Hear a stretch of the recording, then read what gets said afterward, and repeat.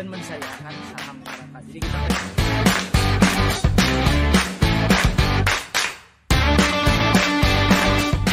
beda sama Jakarta orang Bandung tuh uh, listrik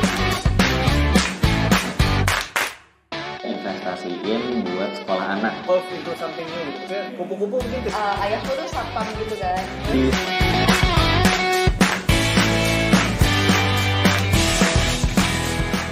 Assalamualaikum warahmatullahi wabarakatuh. Waalaikumsalam warahmatullahi wabarakatuh. Selamat pagi, siang, sore, atau kapan pun yang uh, teman-teman mendengarkan podcast ini. Kembali lagi bersama saya Panji. Dan kali ini uh, udah bareng sama Ihsan. Ihsan Akhirul, ah, Akhirul Syah ya. Kok udah kenal lama banget ya? Kayaknya pas dari zaman-zaman dirimu PPSDMS ya? Iya, dari kuliah ya, zaman kuliah. Dari kuliah ya, dari kuliah. Dulu asrama PPSDMS namanya. Aku bukan PPSDMS, cuman suka suka ikut-ikutan main ke sana gitu. Apa kabar nih? Alhamdulillah, Kang Panji sehat. ya, beginilah suasana karantina. Udah dirimu di Kalibata ya, di Jakarta ya? Kalibata, benar. Ini udah hari berapa ya? Udah nggak kehitung lah. Udah saya sebelum ngomong social distancing, saya udah disuruh ke rumah karena sakit posisinya. Oh. Tapi bukan positif COVID atau apa? bukan, bukan. Bronkitis, bronkitis. Oh, bro, gitu. Ya udah Oh, empat iya. bulan. Kita batuk dari akhir November. Oh. sebelum kan itu kan kan confirm case di Indonesia baru Maret kan nah saya udah dari Desember tapi alhamdulillah ala hal ya sampai sekarang lah recovery-nya proses butuh lama ternyata Oh, aku nggak, aku nggak enggak ya. Semoga cepat sehat lah ya. Bronkitis tuh aku kalau aku sih asma dulu ya. Cuman terakhir asma itu zaman-zaman SD. Jadi kayaknya kalau dulu aku tuh setelah nggak tahu ini eh, apa ya sugesti atau apa. Pokoknya setelah sunat sembuh gitu. istriku yang istriku yang bronkitis dulu ketika lagi eh, dan itu obatan pengobatannya kayak bertahun-tahun gitu dia zaman-zaman zaman-zaman dia sekolah gitu.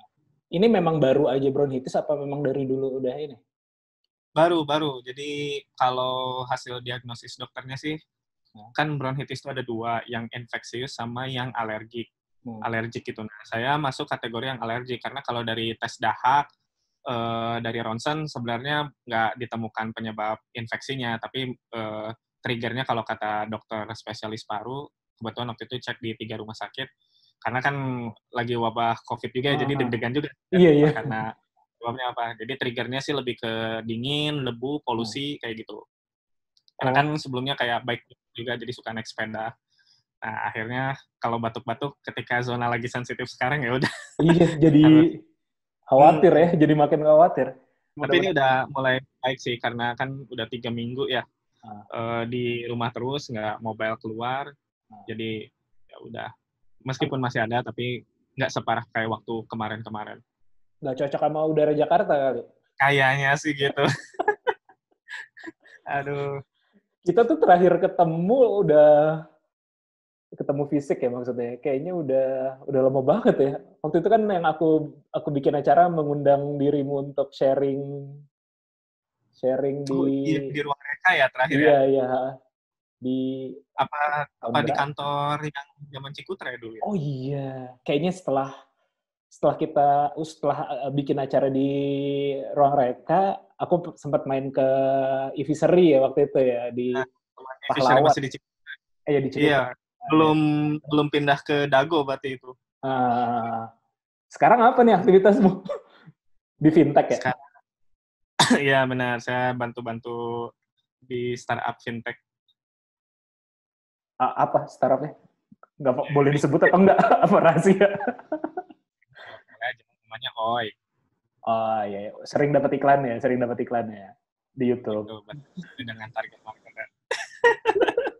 Iya. Iya. Nah iya, kalau aku kan kenal dirimu dari dulu tuh memang concern ke bidang finance ya. Eh, Mungkin juga sempat beberapa kali bikin inisiatif waktu itu sekolah investor kayak gitu-gitu. Terus ya pokoknya concern terhadap terhadap finance lah dan juga eh, kalau aku perhatiin kan kelihatannya dirimu sangat concern juga ke bisnis atau mungkin juga personal investment, tapi yang basisnya berbasis aset lah, kalaupun bisnis bisnis perumahan gitu kan setahu aku ya kalau nggak salah ya. Hmm. Itu memang ini sebelum kita bahas nanti kita bahas ke apa Amana Foundation ya.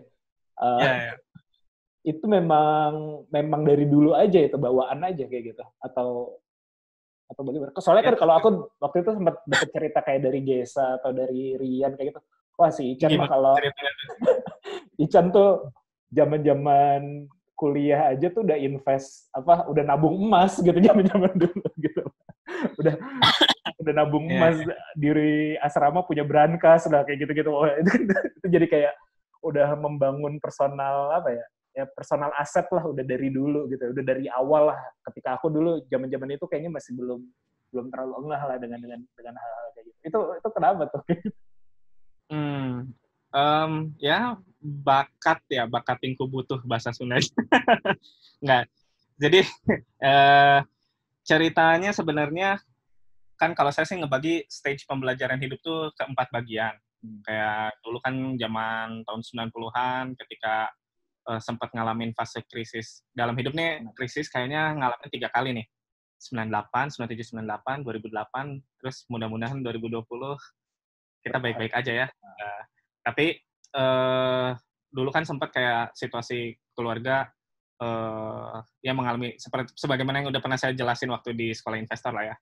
Eh, ada fase kejatuhan, kemudian eh, situasinya bikin ketemu di permasalahan keuangan yang sisi kiri, mau apa-apa susah gitu, sama eh, pembelajaran hidupnya pada waktu itu kan mencoba berusaha bekerja lebih keras daripada yang lain, daripada teman-teman sebaya. Makanya banyak teman-teman apa teman-teman saya pada waktu itu kayak yang jauh lebih senior gitu, karena emang eh, harus eh, cari dana dan segala macamnya, cari penghasilan.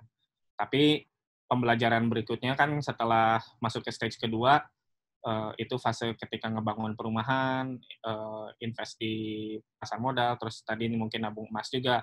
Eh, let's say eh, kebutuhan sebenarnya tercukupi, tapi ternyata ada rasa yang kurang gitu, value-nya kurang.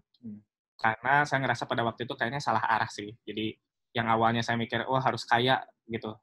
Ternyata setelah dapetin eh, sejumlah materi buat ukuran mahasiswa sih, ya saya cukup lah pada waktu itu gitu. Meskipun gaya hidup sederhana gitu kan. Eh, tapi insya Allah eh, pada waktu itu sih untuk saving rasio ya cukup lah. gitu. nah, beli rumah waktu kuliah kan, buat diputar sampai kemudian lanjut ke develop property project ya enggak angkanya 9 digit juga lah pada waktu itu ukuran masih mahasiswa ya. Eh, tapi masih ada yang kurang. Kurangnya apa? Kayak karena tetap kayak teman-teman sibuk beraktivitas kerja dan segala macamnya. Saya waktu itu luang, mungkin materi ada, tapi kayak masih ada yang kosong lagi gitu. Terus masuk ke stage yang ketiga, stage kehidupan yang ketiga waktu ngerintis startup bareng sama teman-teman di Fishery lah pada waktu itu. Eh, sharing visi, kemudian apa yang dampaknya saya belajar ekonomi kan, jadi kayak disparity orang kaya, orang miskin dan seterusnya. Kemudian co-founder yang lain isunya mereka eh, pengen apa hidup di dunia pertanian dan seterusnya dapat ma- eh, matching terus seolah-olah jadi kayak eh, impact investing lah. Jadi mencoba memberikan dampak manfaat kepada lingkungan dulu eh, terkesan heroik sampai kemudian bisnis bertumbuh 2014 sampai 2017 makin besar eh, ternyata ya ada pembelajaran yang menurut saya jadi bahan refleksi saya juga apa itu eh, terkadang kita ingin mengubah dunia yang besar gitu ya tapi Hmm. untuk mengubah dunia itu gak gampang gitu dalam artian mungkin kita perlu memperkuat fondasi dengan mengubah di level negara. Untuk bisa mengubah level negara juga nggak gampang. Kita harus Hmm. mengubah di level masyarakat. Untuk bisa mengubah level masyarakat, kita harus mempertahankan fondasi di level keluarga.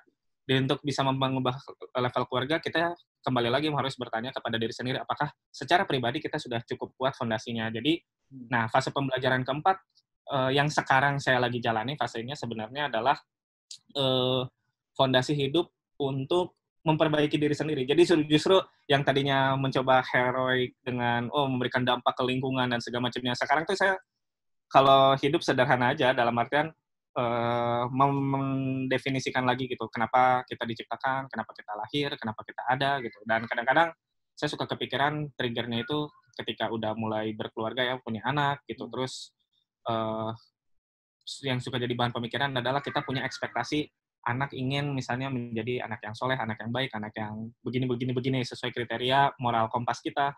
Tapi pertanyaannya apakah kita sebagai orang tua apakah sudah cukup memiliki keteladanan seperti itu. Nah, pertanyaannya yang buat saya jadi bahan merenung kenapa akhirnya saya mengerucutkan dari yang besar-besar jadi kayak yang paling sederhana. Uh, ketika bicara bisnis, kita bisa gagal, bisa berhasil.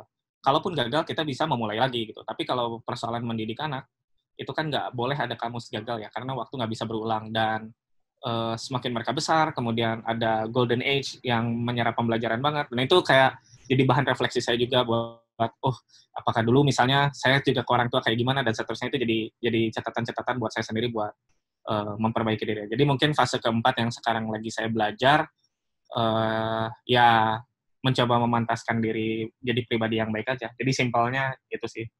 Nggak nggak neko-neko lagi kayak dulu-dulu lah gitu. cerita. Emang kalau kayaknya aku semalam sempat sempat apa ya sempat ngomong sesuatu di startup Bandung yang konteksnya adalah uh, apa ya salah satu psychological trait-nya entrepreneur tuh uh, istilahnya grandiose lah kalau bahasa psikologinya yaitu ya ingin terkesan wah atau ya tadi ya mungkin bahasa bahasa dirimu bahasa darimu adalah uh, berpikir besar gitu ingin ingin mengubah dunia lah. Ingin berbuat berbuat baik untuk orang banyak kayak gitu gitu. Padahal ujung-ujungnya uh, ya tadi mungkin bisa jadi uh, level terbaik atau yang paling bisa kita lakukan ya memperbaiki diri sendiri dulu gitu kan ya. Nah, sepakat, sepakat nah, banget. Ya, tapi tadi aku nanyanya kaitannya sama konser terhadap finance ya, tapi dirimu kan bau, jawabnya adalah uh, bukan cuman uh, ngomongin finance-nya, tapi justru pandangan finance-nya ini terhadap perubahan-perubahan siklus hidup tadi gitu kan ya. Berarti Benar. memang menurut dirimu finance tuh sangat uh, bukan cuma urusan uang gitu ya, urusan hidup gitu. Nah, finance kan cabang dari ilmu manajemen ya. Hmm. Kalau kita misalnya dari segi conceptual thinkingnya nih ya, kita mencari definisi manajemen akan ketemu lebih dari 100 definisi mungkin. Hmm. Salah satu di antaranya misalnya manajemen itu is an art and science. Ada satu konsep yang uh, penuh logik dan analitik Uh, tapi juga ada juga rasa seninya juga gitu kan yang nggak bisa dijelaskan uh, secara kognitif aja gitu karena bersentuhan dengan people, behavior dan segala macamnya. Yang manusia itu unik, kompleks dan unpredictable. Finance sebenarnya ya cabang dari ilmu manajemen itu sendiri gitu dan ketika ngomongin keuangan kita berbicara juga behavior diri kita pribadi dan behavior orang lain. Jadi akan ngaruh sebenarnya. Karena menurut saya sih apa yang terjadi di dunia itu mungkin sebagian kecil adalah apa yang kita perbuat, tapi sebagian besar faktornya adalah bagaimana kita merespon situasi. Termasuk juga kayak ilmu keuangan, ilmu investasi.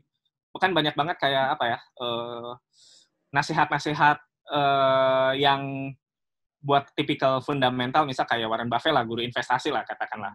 Uh, dia simple satu poin nasihatnya, uh, kita harus khawatir ketika orang-orang rakus dan justru kita harus ngejar peluang ketika orang-orang takut misalnya kan ketika orang-orang worry eh, kita harus cari opportunity di situ tapi sebaliknya ketika orang-orang pada super optimistik justru kita harus berhati-hati poin itu nah esensi kalimat itu mungkin sederhana tapi implementasinya dari tataran normatif diterjemahkan ke implementatif itu nggak gampang ketika kondisi misalnya bursa let's say kemarin di enam ribuan yeah. sampai ke 3000 di bawah ribu hmm. gitu itu nurun 2000 poin orang untuk bisa mengamini dan mengeksekusi poin nasihatnya itu nggak gampang. Nah, yeah.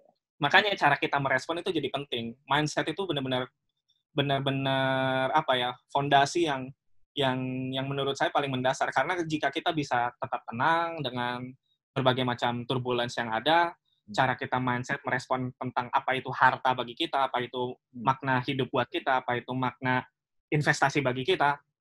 Uh, jadi nggak nggak akan over stress dengan hal itu gitu.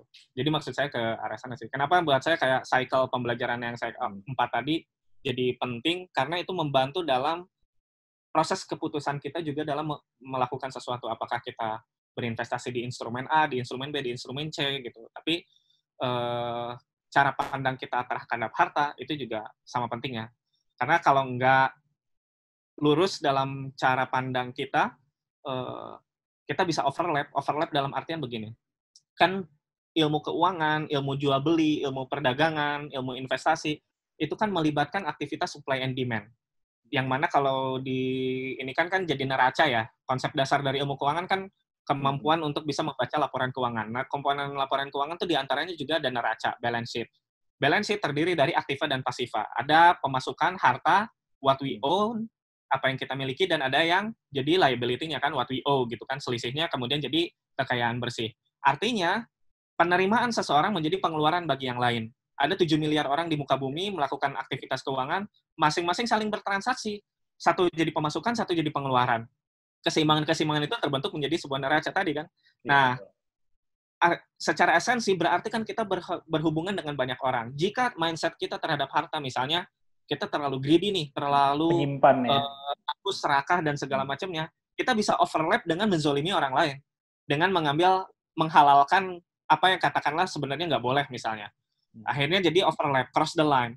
Atau sebaliknya, ketika misalnya eh, di sisi ekstrim yang lain kan kayak gitu ya, mentality-mentality yang berbahaya bisa sampai ke tindak merugikan orang lain, korupsi dan segala macamnya itu juga berawal dari sana. Atau sebaliknya, ketika kita sebagai laki-laki nih punya kewajiban, arijalu kawamuna ala nisa, punya kewajiban misalnya menanggung empat eh, wanita dalam hidup kita setidaknya. Ibu kita, istri kita, anak perempuan kita, saudara perempuan kita. Nah, ketika kita tidak menggunakan mindset yang benar juga, bisa aja kita jadi bermalas-malasan dalam berikhtiar, padahal memberikan nafkah itu wajib, gitu kan, misalnya cara pandang terhadap eh, memberi nafkah tuh kayak seperti apa, cara terhadap harta. Berarti kan wajib juga untuk berikhtiar. Jadi tidak tidak ekstrim dengan menghalalkan segala cara, tapi juga tidak ekstrim yang lain dengan bermalas-malasan. Iya. Nah, keseimbangan-keseimbangan merespon ini, keseimbangan-keseimbangan mindset ini memang menurut saya penting supaya eh, ketika apa pun situasinya, saat kondisi kita lapang dan mudah, kita nggak terlalu jumawa, oh karena merasa hebat dan segala macamnya, akhirnya diliputi rasa sombong. Atau sebaliknya, ketika ada turbulence, ada cobaan, kita juga nggak berputus asa gitu. Itu yang menurut saya jadi dasar eh, cara kita berinvestasi. Kenapa Warren Buffett menjadi seorang eh, investor yang menurut saya salah satu yang paling sukses sepanjang sejarah? Itu di Masih. pembukaan di buku Intelligent Investornya Benjamin Graham itu dibahas sebetulnya. Eh, ketika katakanlah ada situasi bahasa dia tuh kayak apa ya permainan kemudian seseorang menang terus dalam satu cycle gitu kan tapi cara dia mendapatkan kemenangan itu dengan menjauhkan diri dari hiruk pikuk orang-orang di Wall Street dan segala macamnya. Dia justru kayak hidup di eh, Omaha di di kota yang kecil. Nah justru karena kemampuan dia merespon untuk tetap tenang di saat orang lain penuh noise, penuh keributan gitu dengan ada reaksi eh, bagaimana bentuk pasar yang terjadi, dia bisa memenangkan kompetisi gitu. Nah, hal yang kayak gitu yang saya coba pelajari gitu dari mentalitinya kakek Buffett ini yang luar biasa, kira-kira gitu sih. Eh, tapi itu menarik banget sih tadi ya. Eh, Konteksnya terkait dengan harta ya. Sudut pandang kita terhadap harta itu menarik banget. Eh, Konsep bahwa pen- pendapatan kita atau pengeluaran kita itu bisa jadi pendapatan buat orang lain. Mungkin itu juga yang jadi mendasari eh, ekstrim satunya lagi ya. Ekstrim bahwa greedy dan segala macam dan ujungnya adalah menimbun harta. Makanya kadang-kadang kalau di Islam, bukan kadang-kadang ya, makanya kalau di Islam eh, ada prinsip zakat eh, dengan nominal tertentu. Jika jika harta kita sudah mencapai nominal tertentu agar mungkin tujuannya perputaran uang itu tetap terjadi atau perputaran perputaran ya tadi ya eh, jual beli itu tetap terjadi mungkin ya. Jadi kalau kalau kita nimbunnya udah terlalu besar oh harus dikeluarin nih kayak gitu. Jadi kayak mungkin bisa dibilang kayak punishment gitu. Punishment lo hartanya udah terlalu banyak jadi di, di- disingkirin gitu. Harus dikeluarin nih kayak gitu Eh, jadi kan konsep tentang harta berputar itu dijelaskan di surat Al-Hasyr ayat 7 ya. Janganlah Ah. harta itu hanya benar saja di antara orang-orang kaya saja di antara kamu. Ya, Eh, Allah berfirman seperti itu gitu. Nah, Eh, kemudian konsep tentang pengelolaan harta sebenarnya kita bisa dapetin ibrohnya itu dari kisah Nabi Yusuf sebetulnya. Ketika Hmm. beliau eh, menjadi bendaharawan negeri Mesir pada waktu itu, kemudian raja ya. bermimpi tentang sapi gemuk dimakan oleh sapi kurus. Eh, apa yang dilakukan oleh Nabi Yusuf pada waktu itu adalah membuat policy, kebijakan, dengan mengambil benih itu sedikit demi sedikit, eh, untuk mempersiapkan masa pacaklik, eh, berarti memiliki cadangan pangan bagi negeri Mesir pada waktu itu sebanyak tujuh tahun, dan itu kan sebenarnya kegiatan kita menahan eh, konsumsi, menahan kesenangan hari ini untuk di hari esok. Itu kan sebenarnya jadi dasar berpikir mela- melakukan investasi gitu. Karena jangan sampai kita juga mewarisi generasi berikutnya itu dengan generasi yang lemah. Lemah dalam artian apa ya? Banyak hal, termasuk di antaranya materi. Eh, on the other hand, di sisi yang lain juga menjaga dari ekstremisme yang lain. Misalnya di surat At-Taubah betapa banyak eh, ayat-ayat yang menjelaskan eh, kengerian jika kita menimbun harta gitu, ya kan? Karena diancam dengan siksaan yang pedih dan segala macamnya gitu. Eh, karena apa? Ya efeknya jika kita menimbun ikhtikar gitu, itu akan membuat eh, harta tidak lancar berputar, yang mana efeknya akan menimbulkan eh, efek domino yang buruk di masyarakat. Ujung-ujungnya bisa lepas kendali, moral hazard, tingkat kriminalitas dan segala macamnya itu bisa ini dan tentu itu bukan tatanan masyarakat yang kita inginkan. Nah, jadi kenapa saya sangat suka sekali dengan eh, teori kuantitas uang yang sering saya ulang-ulang Hmm. Eh, karena related dengan perputaran tadi. Nah, terus konsep tentang zakat. Zakat kan termasuk dari bagian eh, rukun Islam yang paling mendasar ya. Pilar-pilar Islam, pilar rukun Islam kan salah satu di antaranya kita membayar zakat. Dalam angle eh, agama, maka itu menjadi sebuah konsep ibadah dalam Iya. sudut pandang ekonomi. Ketika misalnya zakat harta, zakat mal, kita memiliki harta sebanyak 20 dinar. Ekuivalen sekitar 85 gram emas. Karena satu dinar itu kan 4,25 gram emas. Ya kan? Nah, kemudian sudah memasuki haul satu tahun komariah. Eh, maka berarti kita dari sudut pandang ekonomi Islam itu eh, sudah ada harta idle Satu yang tahun. tidak berputar lebih dari cukup gitu satu sama satu tahun itu kan. Maka harus bahasa ayatnya kan ambillah zakat gitu. Karena itu bukan hak kita maksudnya bukan hak kita atau apa? Ya supaya berputar gitu. Jadi istilahnya dalam sudut pandang ekonomi itu kayak lampu kuning lah. Eh eh harta kita udahlah udah kebanyakan nih bayar tuh zakatnya gitu, supaya memastikan berputar supaya kenapa harta perlu berputar supaya bisa tercapai kemakmuran Iya. karena eh, kemakmuran ini hanya bisa tercipta jika harta itu berputar kalau untuk kaya kita nggak perlu kayak ajaran-ajaran norma norma-norma tertentu itu nggak perlu. Anda bisa menjadi kaya dengan merampok, Anda bisa jadi kaya dengan jadi koruptor, jadi kaya dengan eh, maling, jadi kaya dengan hal-hal buruk itu juga bisa jadi kaya gitu, atau jadi menerapkan riba itu bisa kita jadi kaya, super kaya banget. Tapi tidak bisa menciptakan kemakmuran. Kenapa? Karena efeknya akan terjadi kesenjangan yang sangat jauh antara yang kaya dan yang miskin tadi, dan kemudian masyarakat itu chaos orang miskin mungkin akan menganggap orang-orang kaya itu sebagai penjahat yang mengambil harta dari mereka. Orang kaya menganggap orang-orang miskin orang-orang yang malas dan segala macamnya. Karena efek yang eh, kayak tadi bertumpu dengan mementingkan diri sendiri semuanya gitu. Tapi ketika konsep yang mau ditujunya bukan kekayaan melainkan kemakmuran, maka perputaran ini menjadi prerequisite, menjadi syarat yang mutlak yang harus dilakukan. Distribusi itu menjadi penting. Dengan cara perputaran yang makin cepat, makin cepat, makin cepat, kemakmuran bisa tercipta. Jadi itu salah satu esensi kenapa pada zaman Khalifah Umar bin Abdul Aziz pada waktu itu dalam tempo yang singkat beliau berhasil memimpin sebuah negeri tapi tidak ditemukan fakir miskin. Dalam artian mereka ketika ada baitul mal mau memberikan zakat ditolak. Karena apa? Merasa cukup semuanya.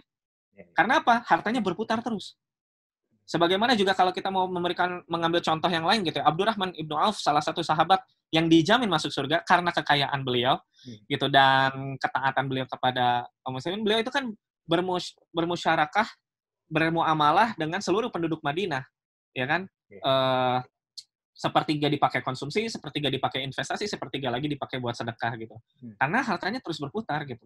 Dan ketika beliau meninggal warisan yang diberikan juga tidak sedikit padahal sedekahnya banyak Iya betul. Kemudian juga kalau kita mau bawa ke teori keuangan modern, misalnya kan eh, teori expected of return misalnya, Eh, kan itu diambil formulanya itu di- di antaranya adalah probabilistic eh, return itu bisa diambil, kemudian berapa yang kita keluarkan dan berapa yang kita kembali.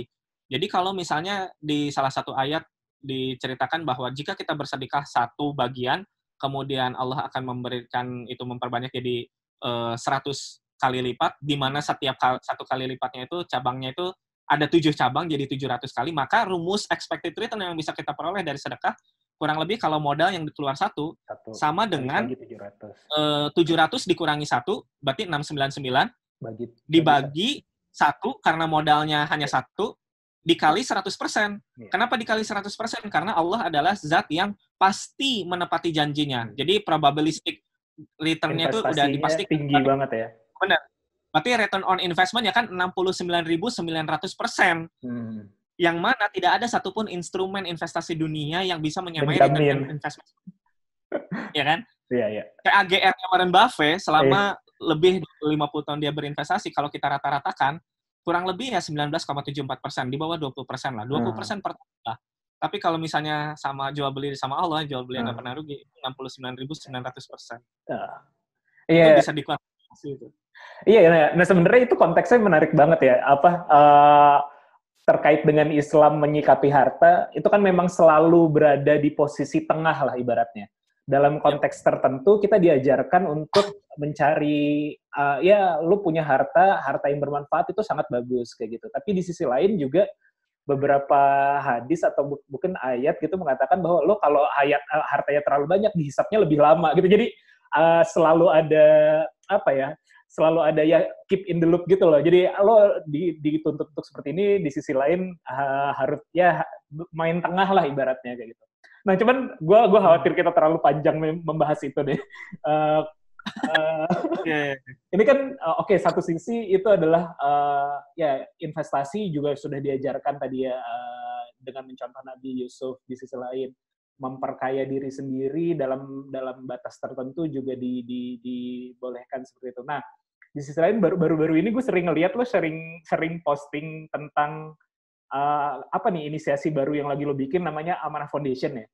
Eh, dan Oke. itu kan lebih men-trigger orang bukan untuk ke sisi finance dalam konteks eh, investasi, tapi lebih ke sedekahnya ataupun eh, apa sih itu Amanah Foundation bisa lo jelasin dulu nggak?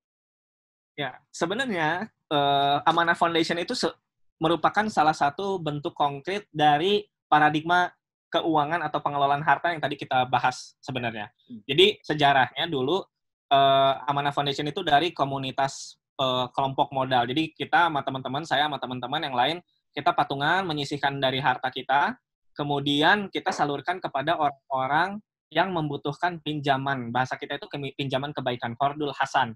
Jadi ketika ada orang yang misalnya butuh dana darurat kayak biaya sekolah, biaya kesehatan, mereka butuh pinjaman uang. Karena kan gini, kan dalam Islam itu haram hukumnya kita meminta-minta. Menjadi pengemis itu tidak boleh. Tapi kita harus bisa menjaga izah kehormatan keluarga dengan eh, cara apa sih setidaknya meminjam itu bagi orang yang butuh dana ya itu lebih baik daripada meminta-minta. Sebaliknya kalau di level ketika kita dalam kelapangan memberikan itu bersedekah itu lebih utama daripada kita meminjamkan karena pahala meminjamkan kan hanya setengah sedekah ya kan. Nah tapi based on reality ada banyak orang yang terjebak dengan katakanlah pada waktu itu case yang sedang ramai awalnya tuh pinjaman-pinjaman online dengan bunga mencekik kemudian mengerikan sekali gitu. Sampai fenomenanya waktu itu uh serem banget lah. Makanya kita coba inisiasi bareng sama teman-teman yuk kita kumpulin duit patungan entah 500 ribu sebulan dan segala macamnya. Kekumpul sekian dana tertentu lumayan masih kecil lah cuma ratusan juta kita sisihkan.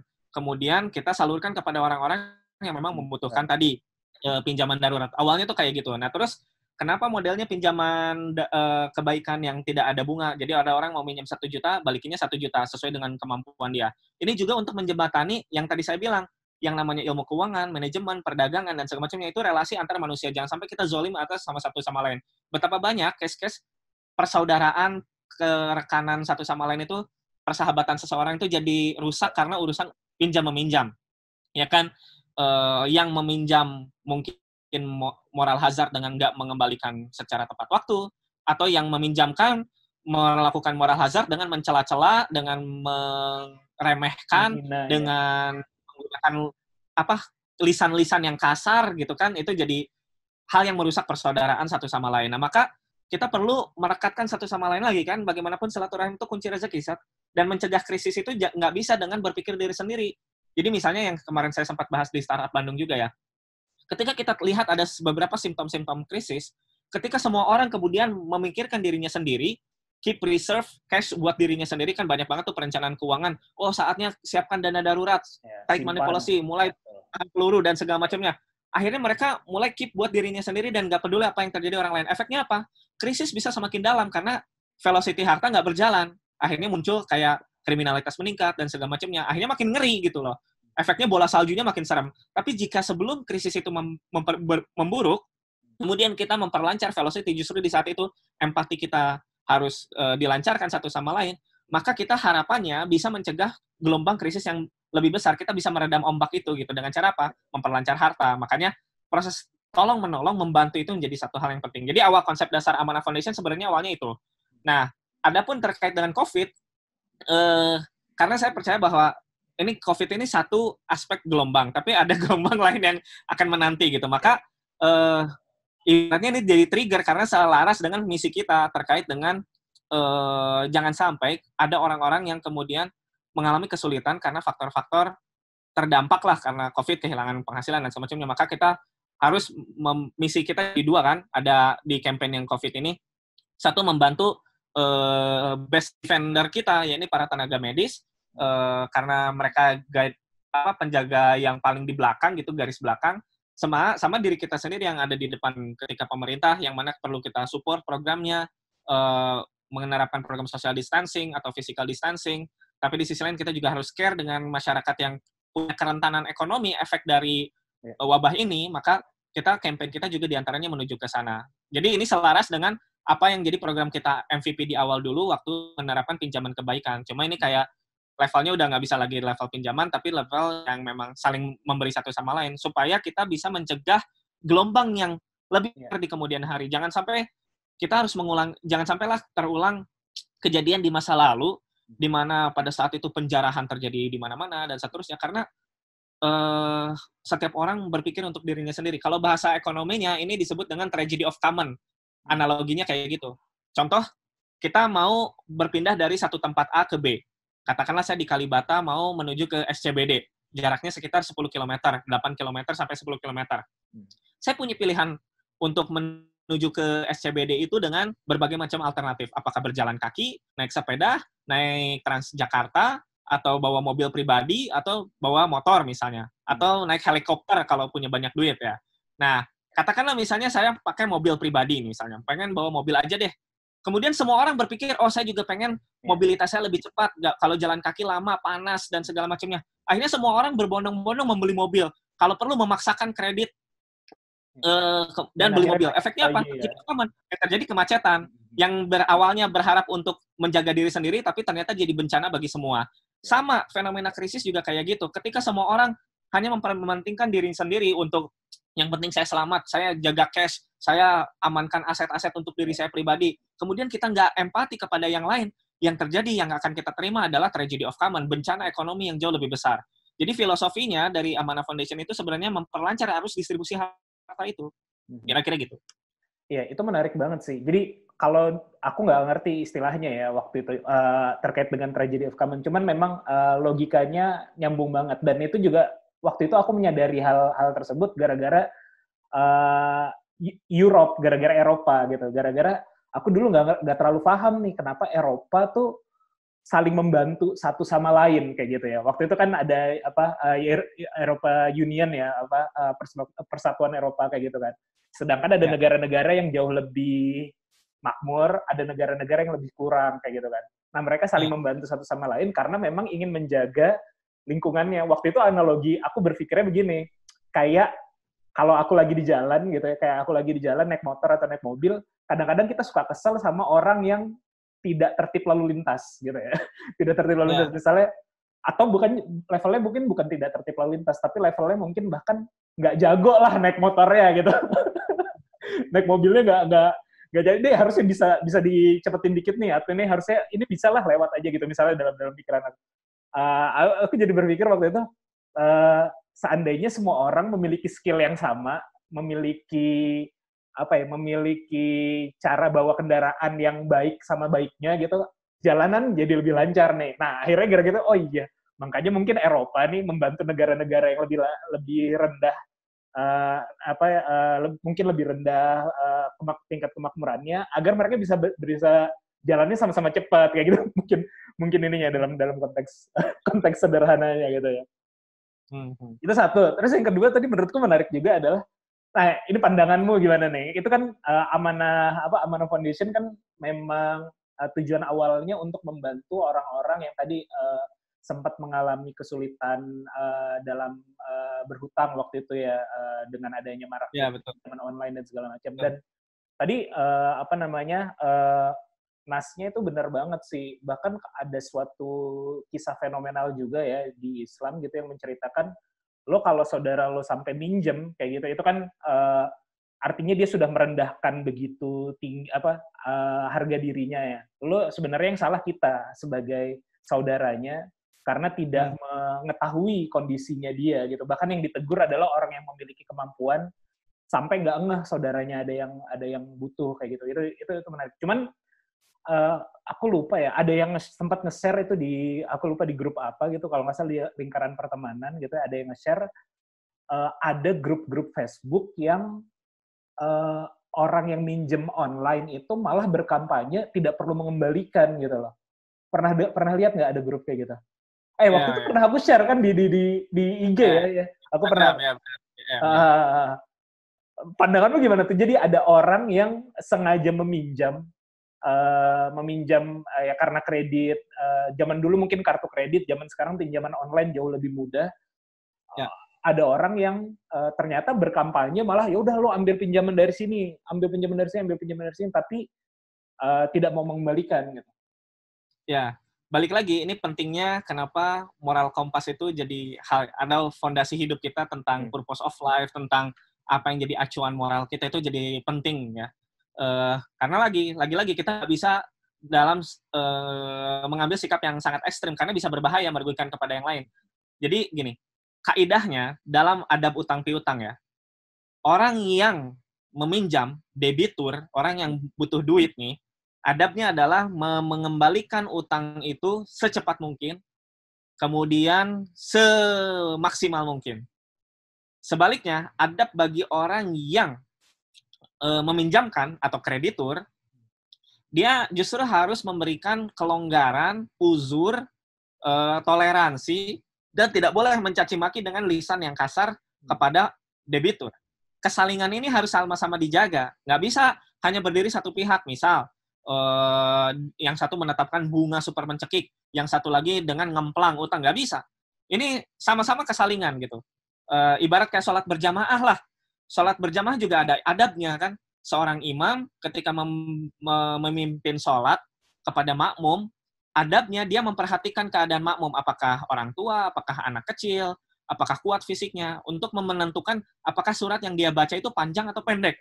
Sebaliknya, adab bagi seorang makmum itu adalah ikhlas dengan apa pun yang dibaca sang imam. Mau panjang, mau pendek, sabar gitu. Kan sama-sama saling menjaga adabnya tuh kayak gitu. Jadi kalau imam justru kayak jangan panjang-panjang, pendek-pendek aja, memperhatikan keadaan makmum. Tapi kalau makmum adabnya jangan kuku lutut, apa ya kuku lutut ya? Jangan mengeluh, jangan eh, jangan kemudian mencaci atau malah jadi tidak khusyuk ketika imam misalnya membaca surat yang panjang. Itu justru harus berjabat. Nah, konteks utang piutang juga sama kayak sholat tadi gitu. Yang satu memberikan toleransi, yang satu berikhtiar semaksimal mungkin untuk membayar. Jangan sebaliknya. Ketika sebaliknya balik lagi nanti ke ke arah mementingkan diri sendiri itu kan. Hmm. Yang itu menjadi uh, katastrofi buat masyarakat kita. Nah, jadi apa sikapnya bagi orang yang punya utang? Uh, yang namanya utang itu uh, tidak selesai di kehidupan dunia. Jadi salah satu di antara ini mungkin kita perlu memahami kenapa riba itu dilarang. Uh, kalau kita mau menguji moralitas kenapa riba itu dilarang, jawabannya adalah uh, karena riba itu tidak konsisten. Maksudnya apa tidak konsisten? Jadi sesuatu itu dikatakan bermoral jika dia konsisten. Contoh analogi sederhana. Uh, saya dengan Panji melakukan janjian meeting, ketemuan, misalnya jam 8 pagi. Hmm. Kemudian saya benar-benar datang jam 8 pagi. Hmm. Ketika saya konsisten atau Panji konsisten untuk juga datang jam 8 pagi dari pertemuan dari komitmen kita, Hmm. maka kita dikatakan bermoral. Kenapa? Karena kita konsisten. Tapi jika misalnya janjian udah jam 8, kemudian datangnya jam 10, Hmm. maka kita bisa menghukumi orang yang datang jam 10 itu tidak kon- tidak bermoral. Kenapa? Tidak bermoral karena dia tidak konsisten. Mhm. Jika seorang yang datang jam 10 ketika dia berjanji datang jam 8 dikatakan bermoral, pertanyaan yang bisa kita ajukan adalah apa gunanya janji? Mhm. Lebih jauh lagi kita bisa bertanya, apa gunanya waktu? Waktu jadi nggak ada faedahnya. Hmm. Janji jadi nggak ada faedahnya kalau kayak gitu. Kalau misalnya orang yang telat datang dianggap bermoral. Itu. Nah, sama seperti riba. Kenapa riba tidak bermoral? Jawabannya adalah karena riba tidak konsisten. Tidak konsisten. Dari mana kita tahu tidak konsisten? Konsep seseorang untuk menerapkan riba itu membutuhkan eksploitasi orang yang lain, ya nggak? Ya. Jadi kalau misalnya ada kalau kalau saya punya uang satu juta misalnya, kalau saya mau eh, sekedar kaya dan menerapkan riba sebagai sesuatu yang bermoral, ya udah saya jadi rentenir aja. Pertanyaan yang bisa kita ajukan adalah apa gunanya bekerja? Bekerja menjadi nggak ada faedahnya jika riba itu bermoral. Saya punya uang, udah saya jadi rentenir aja deh ke orang-orang. Kasih bunga yang tinggi, lu harus saya kasih lu satu juta, lu balikin ke gua 5 juta misalnya, seenaknya gitu. Tapi itu nggak akan bisa bekerja. Kenapa? Karena riba ini baru bisa jalan jika kita mengeksploitasi banyak pihak. Tapi jika semua orang berpikir seperti saya kayak tadi untuk mengeksploitasi itu, dijamin nggak akan pernah berjalan. Makanya krisis ekonomi salah satu triggernya di antaranya adalah ketidakmampuan membayar utang dan segala macamnya karena bunga ini datang dari sesuatu yang eh, invisible tapi kemudian harus dibayarkan dan itu otomatis akan ada satu pihak yang gagal bayar at some point. Makanya krisis itu selalu berulang dari satu ke masa. Itu satu hal. Di sisi yang lain, yang namanya utang itu eh, apa sih? Eh, harus dibayar. Jadi sampai ada satu contoh dari Rasulullah itu ada orang yang meninggal dalam keadaan memiliki utang. Rasul tidak mau menyolatkan. Ketika ada sahabat yang menjaminkan dirinya, saya yang akan membayarkan utang jenazah yang tersangkutan, baru mau disolatkan. Bayangkan, jika seandainya kita memiliki pahala yang sangat besar, jihad misalnya, salah satu di antara amalan utama itu kan berjihad, visabilillah. Tapi jika kita meninggal dalam punya keadaan utang, itu bisa tertahan masuk surga. Saking beratnya konsekuensi punya utang meskipun hanya satu dirham. Satu dirham itu 70 ribu rupiah ya, kalau dirupiahkan. Ini saking urusan utang piutang itu ngeri banget. Dan yang syariat Islam itu menjamin yang namanya utang piutang itu pasti dibayar lunas. Jika dia mem- eh, pilihannya dibayar cara pembayaran lunasnya ada dua. Kalau nggak si orang tersebut secara free will membayar ketika dia hidup atau ketika dia mati dalam artian kan ada yang namanya hisab. Ya. Orang di yaumil mizan kan di yaumil akhir itu ada mizan, timbangan amal baik, amal buruk. Hmm. Amal baik, amal buruk ini akan menjadi currency di kehidupan berikutnya jika orang tersebut memiliki neraca yang positif, asetnya gitu, artinya dia punya amal baik yang banyak, tapi dia punya utang nih, maka amal baiknya ini akan ditransfer kepada yang dia utangi. Hmm. Kalau misalnya ternyata dia defisit, negatif equity, ya, kekayaan bersihnya nggak cukup karena keburukannya lebih banyak daripada eh, kebaikannya, maka keburukan si orang yang diutangi itu akan ditransfer Pindah, kepada si orang yang eh, zolim dan berbuat utang tersebut sampai akhirnya jadi lunas. Nah, syariat menggaransi yang namanya utang piutang itu pasti dibayar lunas. Hmm. Nah, pertanyaannya, jika kemudian syariat punya garansi yang namanya utang piutang dibayar lunas dan yang dan yang namanya utang riba itu kan diawali oleh akad pinjaman bukan jual beli. Kalau jual beli, you mau ngambil keuntungan margin terserah halal. Allah halalkan jual beli, tapi Allah haramkan riba. Mekanisme riba tambahan yang diharamkan itu adalah dari pinjaman. dari pinjaman. Kenapa pinjaman kemudian eh, menjadi haram dan tidak boleh dapat riba? Karena akadnya itu menempatkan penempatan bukan akad jual beli. Hmm. Contoh-contoh gini, kalau saya punya handphone, nih handphone, Hmm. saya menjual kepada Panji, Hmm. saya dapat keuntungan 20 ribu, modalnya misalnya 100 ribu, saya dapat omset 120 ribu. Sama satu lagi, saya punya modal uang 100 ribu, Hmm. dipinjamkan kepada Panji, Panji harus ngembaliin kepada saya 120 ribu Hmm. itu maknanya Berbeda, berbeda. ya? Yang Hmm. satu, uangnya yang tadinya milik Panji jadi milik saya, Ya. barangnya yang tadinya milik saya jadi milik Panji. Ada pertukaran, exchange of value. Ya. Tapi kalau pinjaman, ketika misalnya saya pinjam uang ke Panji 100 ribu, uang yang ada di saya 100 ribu ini punya siapa? Iya, iya. Ya, makanya. Punya Panji kan, Punya punya saya. Panji hanya menempatkan uangnya di saya. Ya. Tapi uangnya tetap secara substansi miliknya Panji. Ya. Nah, karena uangnya punya Panji, maka Allah menjamin secara syariat uangnya. Panji, hartanya itu pasti dilindungi. Hmm. Makanya garansinya tuh dibayar lunas.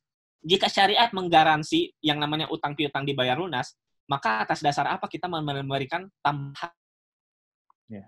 Itu satu pertama. Tapi meng- mengal- jadi konsekuensinya berat bagi semuanya kan. Yang satu harus memberikan keringanan, yang satu lagi lu kalau misalnya eh, nggak membayar utang, maka akan eh, konsekuensinya berat loh, nggak bisa tertahan masuk surga loh. Kalau misalnya kebaikan yang banyak pun gitu. Jadi jadi kalau misalnya ada case kayak tadi pertanyaannya Panji, gimana nih ada orang yang mengkampanyekan untuk tidak perlu membayar utang, maka keliru. Hmm. Jawaban yang benar adalah dia harus membayar utangnya. Setidaknya adalah pokok, pok- uang pokoknya, utang yang pokok. Hmm. Yang wajib itu utang yang pokok.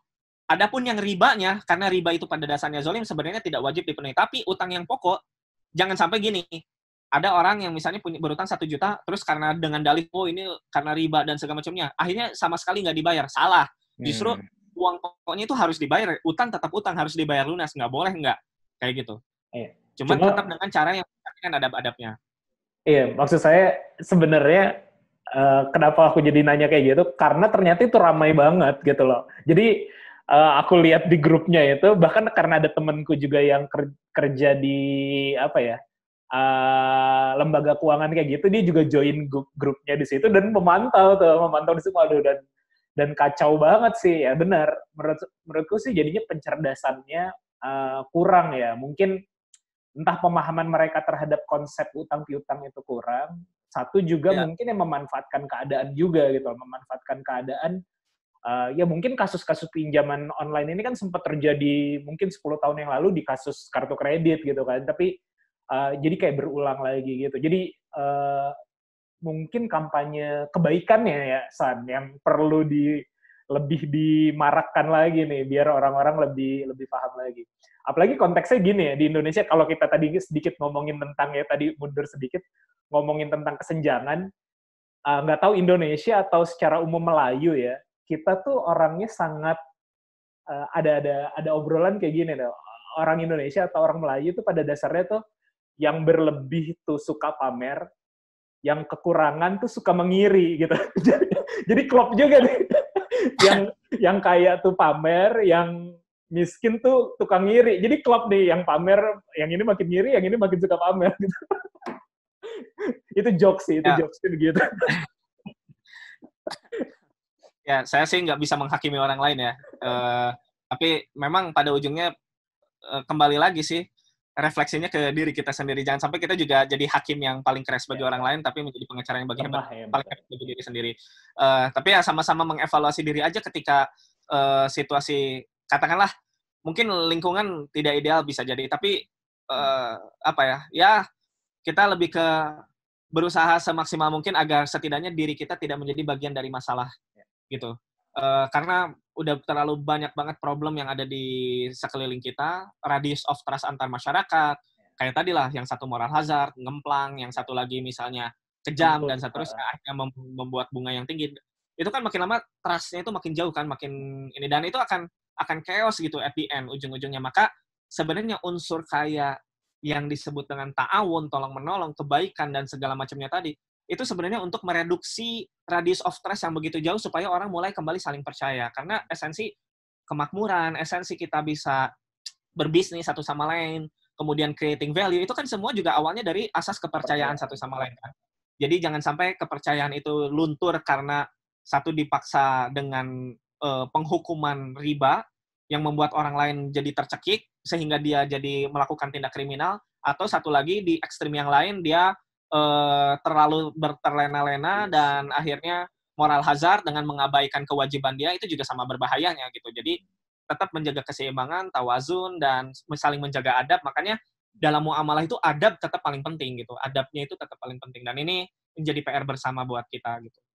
Iya, sama sa- terakhir mungkin ya kalau kalau yang dilakukan oleh Amanah Foundation kan tadi ya eh, konsepnya pada dasarnya awalnya seperti itu dan sekarang ketika lagi ada apa ya ini bisa disebut wabah atau bencana gitu ya eh, COVID ini kan jadi justru aku malah mulai engah bangetnya gara-gara mulai melakukan kampanye eh, penyebaran apa eh, alat perlindungan diri kayak gitu-gitu yang dilakukan oleh Amanah eh, apa namanya Amanah Foundation. Tapi kan konsep lebih dasarnya lagi tadi terkait dengan membantu masyarakat uh, melunasi pinjaman dan segala macam dan juga di, di zaman seperti ini bahkan lebih fokus agar tadi krisis tidak terjadi gitu ya menunda menunda menunda krisis lah dan mungkin uh, saya di beberapa teman-teman juga dan termasuk saya juga uh, kita seri, beberapa minggu ini melakukan secara mandiri sih ya uh, apa ya sekedar kayak ngumpulin uh, apa ya bagi-bagiin ke tukang ojek ataupun ke beberapa masyarakat yang ya. uh, kita lihat uh, membutuhkan gitu ya kita lihat membutuhkan maksudnya sekedar sekedar mereka bisa bertahan hidup dalam kondisi seperti ini gitu dan dan tapi konsep konsepsi amanah uh, amanah foundation ini kan memang tadi ya ternyata di balik itu yang kita lakukan walaupun kecil ternyata bisa menunda krisis yang lebih besar gitu ya ternyata itu apa sekarang yang lagi real dilakukan uh, oleh amanah foundation Ya, jadi uh, sekarang campaign yang lagi berjalan kan kita ada tiga ya. Satu, uh, flatten the curve. Karena kita, uh, saya percaya bahwa kemampuan kita, apa ya, upaya kita untuk bisa menjaga kurva pandemi ini supaya nggak terlalu melonjak karena healthcare system kita kan terbatas ya. Betul. Uh, kita perlu sama-sama mereduksi dengan saling tolong menolong. Lagi-lagi semangatnya adalah saling tolong menolong satu sama lain, baik itu kepada uh, tenaga medis uh, maupun masyarakat yang tidak terlibat langsung. Katakanlah ketika pemerintah misalnya memberikan kebijakan untuk tolong kerja dari rumah dan segala macamnya, kan tidak semua level masyarakat bisa, bisa seperti itu. Maka ini yang bisa kita lakukan tuh ya saling support apa yang bisa kita lakukan aja gitu satu sama lain. Itu yang pertama. Terus yang kedua ada uh, di different campaign itu jadi ada tiga hashtag kan. Yang pertama kayak flatten the curve, terus yang kemudian save kaki, kaki lima, yang ketiga ini ada yang terkait dengan sembako. Itu yang lagi berjalan sekarang. Yeah. Kemudian ya kalau laporan pertanggungjawaban publik kan selalu saya publish di media sosial baik itu di Amanah, di website yeah. maupun di personal account pribadi karena itu fungsinya uh, lagi-lagi ini juga me, apa ya menampilkan itu perjuangan yang nggak gampang loh karena yang paling berat menurut Sufyan Asauri rahimahullah itu hmm. bukan soal amalannya tapi bagaimana menjaga niat atas amalan ya kan? Jadi yeah, yeah, yeah. amal itu bisa hancur, lebur kalau kita misalnya ria, yeah. kemudian tidak lurus dalam niat. Itu jauh lebih berat menjaga niat. Tapi di sisi lain kita juga harus melakukan akuntabilitas pertanggungjawaban kepada publik karena bagaimanapun dana yang masuk juga berasal dari masyarakat, hmm. nggak cuma dari diri kita pribadi. Maka kewajiban itu juga kayak jadi ujian tersendiri buat eh, para relawan-relawan juga sebetulnya. Jadi sama-sama saling menjaga satu sama lain antara prinsip akuntabilitas, uh, supaya transparan, jaga-jaga biar menjaga satu sama lain biar amanah, kemudian di satu sisi juga menjaga niatan agar tidak mencari duniawi, tapi karena memang semangatnya tolong menolong, karena tidak ada faidahnya jika kita gagal dalam meluruskan niat dalam berbuat kebaikan. Misalnya hanya karena pencitraan atau hanya karena stereotip itu lebih penting buat kita dikenal oleh penduduk langit daripada meskipun asing bagi penduduk bumi ketimbang sebaliknya gitu. Jangan sampai upaya berat itu amalannya itu jadi kosong karena kehilangan makna gitu. Itu poin kedua. Nah, adapun di uh, saya belum tahu campaign tentang COVID ini kapan berakhir. Uh, udah beberapa pihak udah mulai menanyakan, tapi saya belum tahu kapan pastinya karena kita juga nggak tahu kapan ini akan berakhir. Jadi uh, sejauh masih memiliki usia, mudah-mudahan Allah istiqomahkan gitu ya. Hmm. Terus yang kedua, uh, yang jelas kan ini ada momentum kayak Ramadan. Ramadan kita juga mungkin akan uh, mencoba campaign zakat. Betul, kemudian nanti persiapan buat kurban juga, dan sebenarnya roadmap jangka panjangnya kita ada di empat bagian sih, ada empat sektor. Kayak masjid, kita ingin mencoba membangun masjid, mudah-mudahan Allah mudahkan, karena bagaimanapun itu tempat pendidikan terhadap adab, nilai-nilai, kemudian juga rumah sakit, kita juga mau mencoba membangun sekolah sama yang keempat itu aspek ekonomi yang tadi uh, pinjaman kebaikan ID itu yang uh, mencoba meneruskan iterasi yang dulu pernah kita kerjakan itu hmm. roadmap jangka panjangnya kira-kira ke arah sana jadi poin utamanya ya tetap kayak jembatan antara uh, para pihak masyarakat ini dengan berbagai macam keadaannya dan kita nggak bisa saling menyalahkan satu sama lain tapi uh, apa yang bisa kita bantu ya kita coba satu sama lain bantu gitu Mhm. Karena bagi beberapa orang cukup efektif, terutama misalnya hubungan antar uh, kekerabatan tadi ya. Karena kan ada orang yang katakanlah bikin gemes gitu ya karena oh ini kenapa utang nggak dibayar-bayar gitu. Dengan via yayasan kan at least misalnya si orang misalnya Panji punya dana, kemudian daripada Panji meminjamkan uang secara langsung ke orang tersebut, pas ditagihnya susah, at least kalau ada yayasan bisa jadi jembatan kan karena pengurus uh, independen dan akuntabel dan bisa mewakili Panji sebagai yang memiliki dana untuk eh balikin dong dananya. Jadi kayak akun yang netral gitu loh. Itu bagi orang juga proxy yang penting ketimbang Panji punya teman gak enak kalau nggak dikasih, Langsung, tapi kalau dikasih betul. gimana ya kayak gitu gitulah. Hmm. Itu jadi salah satu jembatan supaya hubungan kita tuh satu sama lain antar manusia itu nggak rusak karena faktor muamalah tadi karena kita itu manusia yang nggak sempurna bisa jadi akan banyak kesalahan dari satu sama lain makanya perlu saling menjaga satu sama lain kira-kira gitu Iya sama gara-gara ya beberapa minggu ini ya dua tiga minggu ini tadi kan aku bilang eh, aku juga beberapa kita sama teman-teman melakukan ya kegiatan sosial seperti itu juga gitu terutama sembako sih kalau kita karena memang eh, yang kita lihat dan real di tetangga kita lah atau apa itu yang lebih lebih dekat lah eh, seperti itu walaupun memang yang pet- para pat- apa perlu dibantu juga ya tenaga medis dan segala macam kayak gitu. Ya. Cuman yang aku lihat ada fenomena ada fenomena seperti ini sih. Mu- aku mu- mungkin nanti tanya tanya tanggapanmu ya. Aku belakang ini jadi ngelihat orang yang lebih concern terhadap orang lain atau yang ingin membantu orang lain itu justru orang yang juga dalam keterbatasan gitu. Jadi eh, lebih willing tuh atau lebih mudah eh, membantu orang-orang yang dalam keterbatasan gitu. Jadi justru malah orang-orang yang mungkin eh, penuh keluangan atau be- besar sekali keluangannya tuh tadi mungkin ada kampanye-kampanye lo keep eh, cash di rumah atau eh, di masa-masa seperti ini ada kampanye-kampanye tadi gitu loh. Jangan keluarin uang, jangan apa simpan untuk diri lo sendiri. Jadi jadi kesannya ada ada ada ada ya kayak gitu fenomena yang aku lihat di lapangan gitu. Menurutmu gimana tuh kayak gitu? Atau Amanah Foundation gimana eh, melihat pandangan kayak gitu? Jawaban saya tilka umatan khad kalat selaha maka sabas walakum maka sabtum bagi mereka amal-amal mereka bagi kita Ya, ya, ya, amal-amal ya. kita kan bukan tugas saya untuk menghakimi orang Ya, ya, ya. saya nggak mau menghakimi kenapa orang kaya begini dan semacamnya no no no no no, no. Hmm. saya harus sibuk dengan bercermin ke diri sendiri apa yang Hmm. udah saya lakukan karena saya pribadi juga banyak kekurangan kita nggak bisa mengetahui isi hati seseorang Hmm. yang kita bisa Ya lakukan mungkin hanya dia punya punya hal lain lah ya. Betul. Jadi eh, kondisi kayak gitu di luar domain saya untuk menjawab. Saya Hmm. tidak mau menghakimi siapa pun Hmm. gitu. Tapi fokus saya eh, adalah look in the mirror ketika berbicara kekurangan pada saat ini. Misalnya apa yang secara pribadi buat saya sih lebih ke ujung-ujungnya sebenarnya juga kenapa saya harus berbuat baik supaya bisa memastikan apakah kita gini banyak orang yang meninggalkan fenomena sekarang kayak tingkat dinas pemakaman DKI sempat kayak cerita Iya. eh, average-nya jauh lebih tinggi Meningkat, daripada bulan-bulan sebelumnya. Bisa jadi mereka yang udah meninggal itu udah diampuni kesalahan-kesalahannya. Tapi kita yang masih hidup, kita nggak tahu nih, nggak jelas nih masa depan kita akhirnya tuh bakal kayak gimana gitu. Jadi Hmm. fokus saya adalah kenapa kita harus berbuat baik atau kenapa diri pribadi ini harus berbuat baik karena make sure sebisa mungkin berupaya supaya meninggal dalam keadaan yang baik lah gitu.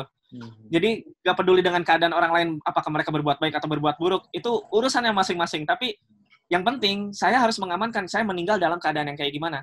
Makanya yang jadi filosofi saya yang juga mungkin bisa dilihat di IG kan menjadi orang penting itu baik, tapi lebih penting menjadi orang baik gitu karena kita nggak tahu keadaan kita pada saat akhir nanti apakah dalam keadaan baik atau enggak. Itu yang sama-sama masih misteri dan kita hanya bisa berusaha. Itu poin pertama. Terus yang kedua, ketika bicara tentang kebaikan justru kita harus kayak look outside the windows gitu. Jadi orang lain yang berbuat baik maka kita kita apresiasi. Entah misalnya dia ria kah atau dia benar-benar ikhlas kah. Kita bukan kita nggak bisa overlap ke arah sana, tapi yang kita lakukan adalah berprasangka baik. Tapi kalau untuk urusan keburukan, saya mendingan kayak bercermin ke diri sendiri karena banyak banget dosa-dosa pribadi ini yang yang menggunung dan mungkin sangat berat. Jadi serem lah saya membayangkannya juga gitu kalau kalau kita menghisap diri sendiri. Jadi ya itulah berpacu dengan waktu yang singkat saya juga nggak tahu sampai besok masih ada umur atau enggak.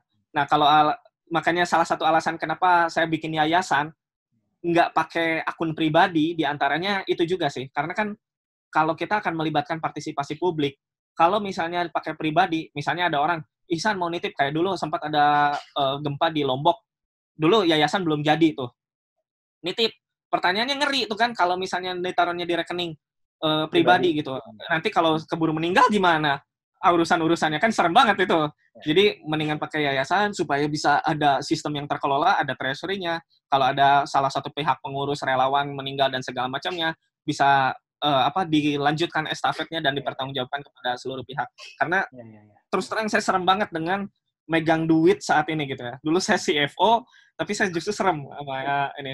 Dulu salah satu alasan saya juga takut kayak bisnis, takut dengan bekerja karena saya sadar dengan amanah yang eh, dilimpahkan takutnya berbuat zolim karena Ya, ya. kita itu nggak sempurna banyak banget kekurangan kita gitu sebagai Betul, manusia Betul. itu makanya hanya berusaha men, sebaik Ya, dan- mungkin lah gitu. dan Adapun mungkin- kalau Iya kalau fenomena kayak di apa ini kenapa yang lain nggak membantu dan semacamnya. Oh itu udah ada zat yang maha mengawasi lah tentang amalan-amalan masing-masing. Tugas kita Iya. fokus ke diri untuk Iya, dan di masa-masa kayak gini sebenarnya salah satu momen paling bagus untuk kontemplasi sih, gara-gara memang kalau aku sendiri ya jadi jadi waktu yang eh, panjang banget untuk berkontemplasi dan memikirkan tadi ya dosa-dosa diri sendiri. Dan kalau kita ngomongin tadi ya, misalnya oke eh, sempet tuh ada ada ada juga ketika tadi ya poin-poin tadi ada sempet aku posting sekali doang sih sebenarnya ketika ada ada apa namanya kegiatan sosial kayak gitulah. Eh, aku posting sempat ada yang nanya eh, ya kurang lebih pertanyaan-pertanyaan kayak tadi gitu. Terus aku bilang eh, ya sebenarnya ini adalah eh, kalau orang-orang egois menyimpan uangnya, ini kita juga egois sebenarnya yang aku lakukan itu kegiatan egois karena ketika eh, ketika kita membantu orang lain seolah-olah membantu orang lain sebenarnya membantu diri kita sendiri nyari muka di Tuhan kan nyari muka nyari muka di Allah siapa tahu dengan kita membantu orang lain niatnya bener itu jadi pahala buat kita. Sebenarnya kan balik lagi balik lagi ke keegoisan diri jadi ujung-ujungnya kalau kemarin sempat ada yang nanya gitu. Cuman memang bebannya itu sih. Eh, makanya mungkin kalau aku sendiri secara pribadi nggak pernah melakukan bisnis sosial ataupun ketika melakukan eh, apa-apa ya sendiri aja dulu karena memang ya takutnya tadi ya ketakutan ketakutan dirimu. Ada pencitraan lah atau ada eh, terlalu so, so apa kayak gitu. Cuman ya itu kita hilangkan aja lah pikiran-pikiran.